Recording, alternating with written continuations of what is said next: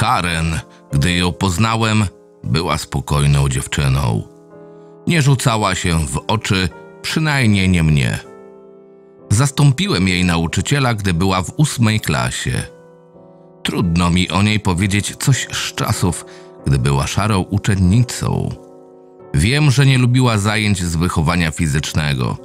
Unikała ich. Tak mówił Stanley, jej nauczyciel WF. Nie była z tego powodu jednak niesprawna fizycznie.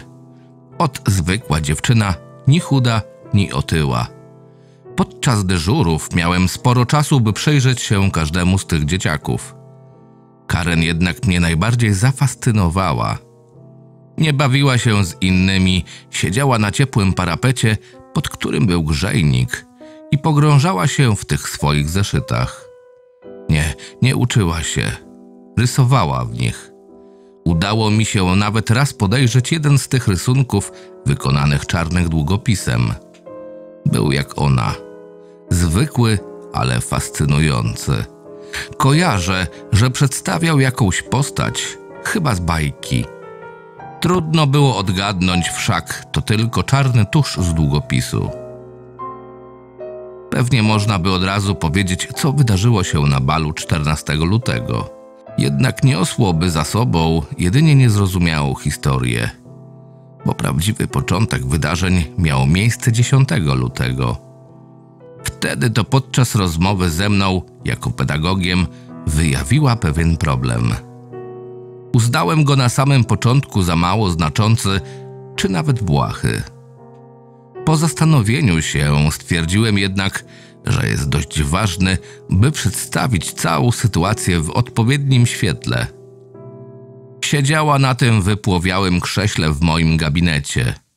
Zaciskała w ramionach swoją brązową torbę, w której nosiła książki. Po samej torbie, a raczej naklejkach na niej, można było stwierdzić, że to jeszcze dziecko. Płakała. Nie podnosiła wzroku, stale wpatrzona w swoje ubłocone tenisówki. Miała na swoim swetrze plamy, nie wiem od czego, ale w różnych kolorach. Wiedziałem, że obrzucono ją śmieciami, więc pewnie w plamach był niedojedzony jogurt, może jakiś owoc. Dzieciaki potrafią być koszmarne, jeśli się od nich odstaje. Karen przekonała się o tym na własnej skórze. Cichutko chlipała, starając się zyskać jak najwięcej czasu, by nie iść na ostatnią lekcję. Nie puszczę cię dziś do nich, powiedziałem. Widać było, że jej ulżyło. Zaczęła spokojniej oddychać. Opowiesz, co się stało? Spytałem. Pokręciła głową, znów zanosząc się płaczem. Podałem jej chusteczki w foliowym opakowaniu. Szeleściła nimi trochę, zanim wyjęła jedną i otarła mokry nos.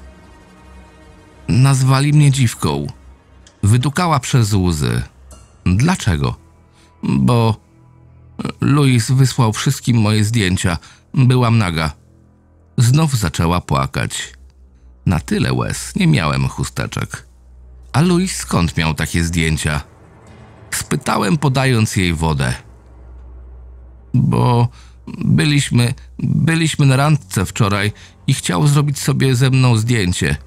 Nie pozwoliłabym mu zrobić sobie takich fotek, ale w ostatniej chwili podciągnął moją bluzkę. Nie musiała już więcej mówić. Wiedziałem, co się stało. Powinnaś pójść z rodzicami na policję. Rzuciłem w jakiejś chwili. Karen nie chciała, bym się mieszał, tak samo jak nie chciała, bym rozmawiał z Luisem. Nie chciała pomocy, więc ja nie mogłem jej udzielić. A może nie chciałem? Nie wiem. Później nie widziałem jej w szkole. Cztery dni później miał odbyć się bal i tak się stało. Byłem tam, tak jak inni nauczyciele.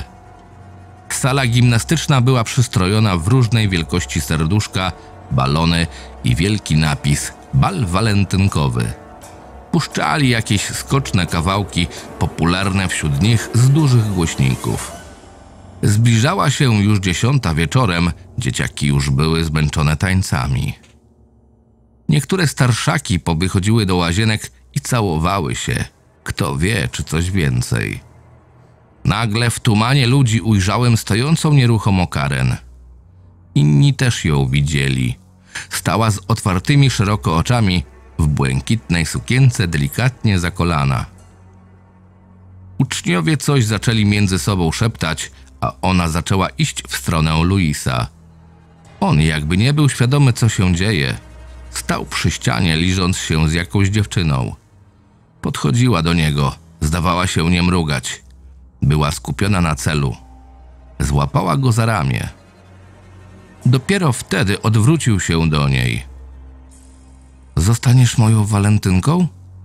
Spytała mrożącym krew w żyłach głosem. Louis zamarł z lekko otwartymi ustami.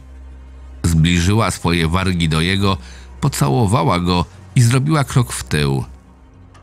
Patrzyła na to, co się będzie dziać z uśmiechem. Louis padł na ziemię w konwulsjach, zaczął wymiotować krwią. Jego twarz zrobiła się sina i martwa. Ludzie zaczęli uciekać z sali, tylko kilku przyjaciół Luisa przyglądało się dalej sprawie. I na nich przyszła kara. Ich również spotkał pocałunek Karen. Padali na ziemi, po kolei wylewając z siebie litry krwi, tworząc coraz to większą kałużę. Muzyka już nie grała, a na sali żywy zostałem jedynie ja i Karen. Reszta uciekła. Spojrzała na mnie, już nie przypominała zapłakanej dziewczynki, którą widziałem cztery dni wcześniej. Mówiłam, że nie potrzebuje pomocy. Wypowiedziała spokojnie i wyszła z budynku. Nie wiem, ile tam jeszcze stałem, ale otrząsnąłem się dopiero jak przyjechała policja. Kto by pomyślał, że mała dziewczynka będzie zdolna do czegoś takiego? Scenariusz Andrzej Arndt